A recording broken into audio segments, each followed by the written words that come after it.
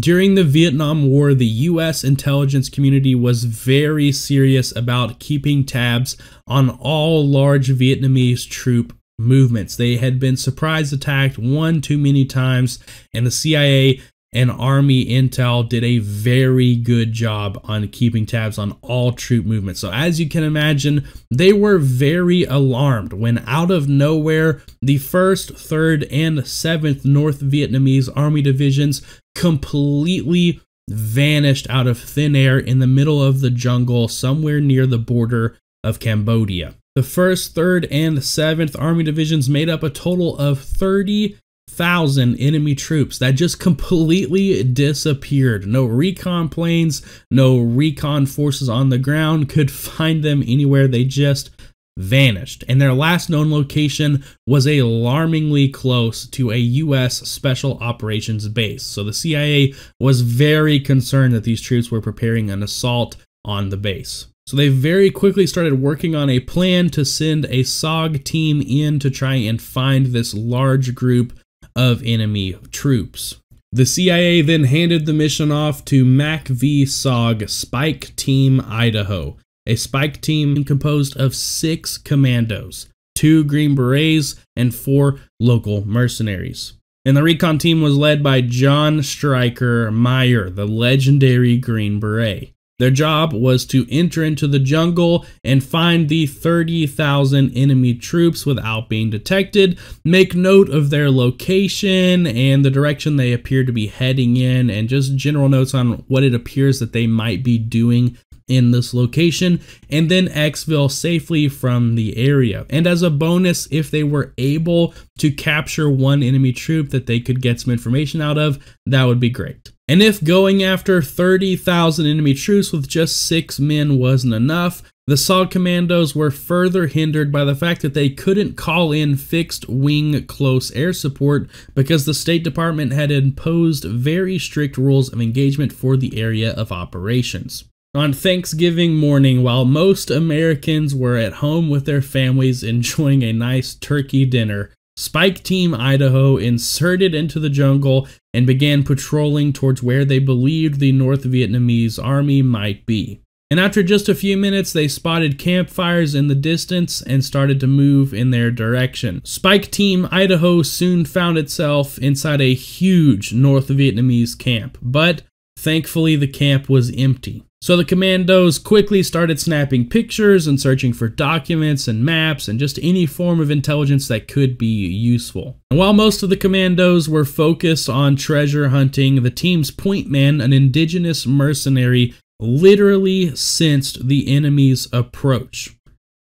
He couldn't see anything, couldn't hear anything. He just literally could feel that it was time to get the heck out of there. And thankfully, the team leader, John Stryker Meyer, trusted his teammate with his life and took his word for it and made the decision to exfiltrate immediately. But as they were leaving camp, hundreds of North Vietnamese troops poured into view from seemingly out of nowhere. Before long, it was clear that they were coming straight at them from both the north and south. Their point man had been completely right about his feeling. Spike Team Idaho was now facing an utterly overwhelming enemy force. If they were going to have any chance to survive, they needed to get out of there in a hurry. Thankfully, these SOG operators knew exactly how to set up their loadouts for these kinds of situations. They were not new to running away from very large groups of enemy forces. I'll put a picture of John Stryker Meyer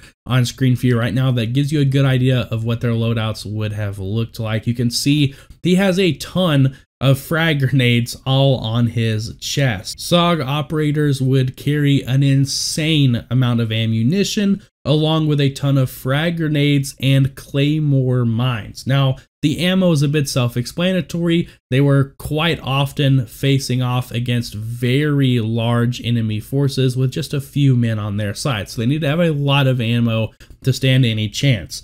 But the frag grenades and claymores were actually hilariously genius. They would run away through the jungle from the enemies that were chasing them and be able to just grab frag grenades off their chest, pull the pin, and throw it over their shoulder behind them to slow down the enemy that was trying to chase them. They could also stop for a second placed on a claymore mine and then keep on running and that way they would there would just be stuff blowing up behind them constantly slowing down the enemy while they were running through the jungle and setting up their loadouts like that absolutely saved Spike Team Idaho's lives this day as they ran through the jungle. They would throw frag grenades over their shoulder and plant claymore mines in an attempt to slow down the enemy's pursuit. But unfortunately, in this situation, the enemy's numbers were just so huge that even when they would take out a large group of enemies with one frag grenade, more enemies would just appear out of nowhere to take their place.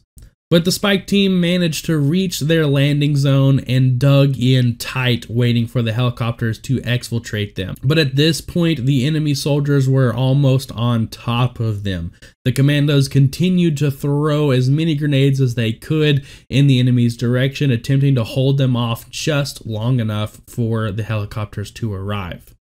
And literally just as the Spike team was about to be overrun by the enemy, a group of UH-1P Hueys from the Air Force's 20th Special Operations Squadron, nicknamed the Green Hornets, arrived to pick up the SOG operators. The Green Hornets immediately opened fire on the enemy with their miniguns and M60 machine guns. The Green Hornets were able to completely halt the enemy's advance just long enough for the SOG commandos to board the helicopters. And just like a scene from a movie, as the helicopters were flying away with the SOG operators, the enemy forces immediately filled the entire area beneath them, giving the SOG operators a good overhead view of just how huge the enemy force they were fighting against was. And with that, the mission was a success. Miraculously, all six members of Spike Team Idaho made it back home